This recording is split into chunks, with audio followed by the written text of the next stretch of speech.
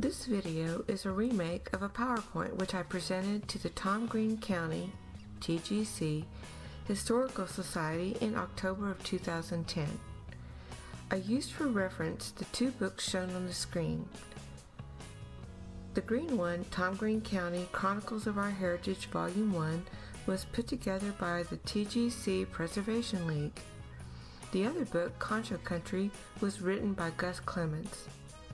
I also went to what is now the Stephens Central TGC Library. There I read Tom Green County Courthouse and Town Clock by Rose Austin. There I also skimmed the index to San Angelo Standard Times May 1884 to December 1889. Captions from that newspaper will be within a red box in this video. So, the title of this video is The Second Stone TGC Courthouse. If the topic is about the second courthouse, then what happened to the first courthouse?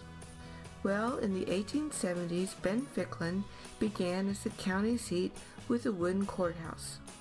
Then a nice stone building was erected. That stone one was only operative for about a year. Why only a year?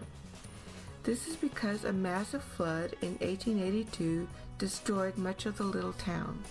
So the building was dismantled and rebuilt as school property for San Angelo. So destructed was Ben Ficklin that the town of San Angelo became the new county seat.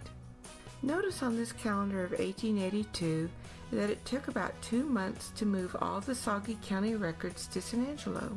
But where in San Angelo? Well, a wooden courtroom served the county until a permanent courthouse could be built. According to Rose Austin, a notable historian, in a presentation in 1951, an adobe building was also used as a courtroom. Both were near this present day intersection. Now, what about the permanent building? In 1884, a contract was awarded. Oscar Ruffini, architect and superintendent, had 13 months to complete the building. John and Anton Willicke, stonemasons from West Virginia, had the contract for the stonework. The quarry may have been in the Ben Ficklin area, which is presently near South Bryant in the Loop. By the way, the Standard Times newspaper was printed only for Saturdays. The excerpts from the paper for three weeks in May show how things started off slowly, but at the end of July, rocks began to be hauled to the site, which is at the 100 block of West Beauregard. In August, the newspaper reported progress on foundations and floor joists.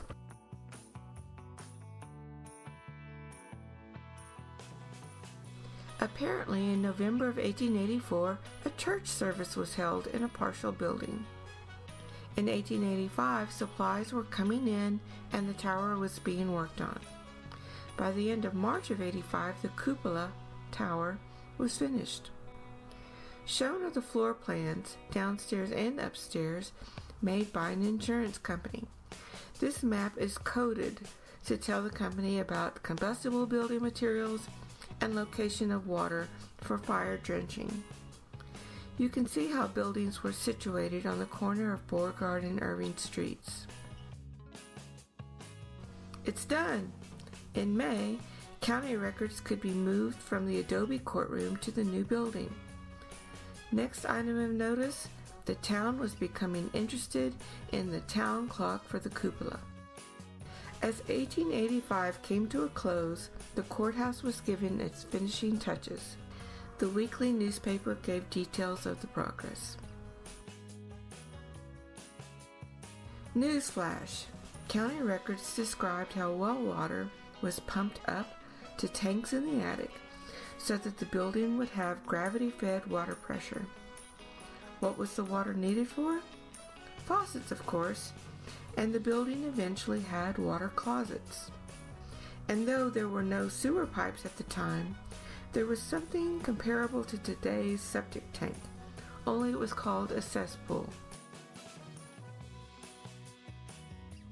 In 1886, it was time to landscape the outside.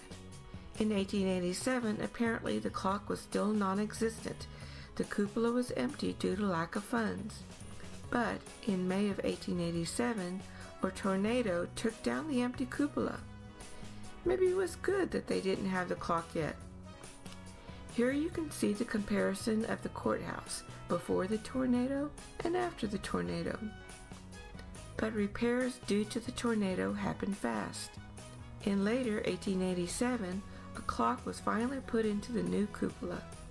In 1888, this well-known photo was taken as a parade welcomed the completion of San Angelo's railroad terminus. The next few slides are about that clock that was installed in the cupola. We refer back to Rose Austin's presentation where she had interviewed old timers. Number one, the clock was bought after much fundraising. Number two, you had to wind that kind of clock to make it run. Number three, two men, Flanagan and Leffel, apparently had the job through the years. Number four, Mr. Leffel's sons, Maynard and Carl, helped wind the clock.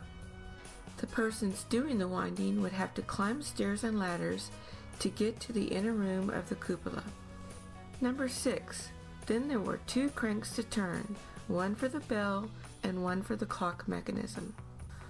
Rose Austin found out that one time the boys, Maynard and Carl, realized late at night that they had forgotten to wind the clock, which the entire town depended on. So they went there late at night with a lantern to wind it. Somewhere amongst the stairs or ladder, the lantern got juggled around and almost dropped. How horrible it would have been if they had set fire to the courthouse. Maynard and Carl, as grown men, must have been very nervous reminiscing about that night.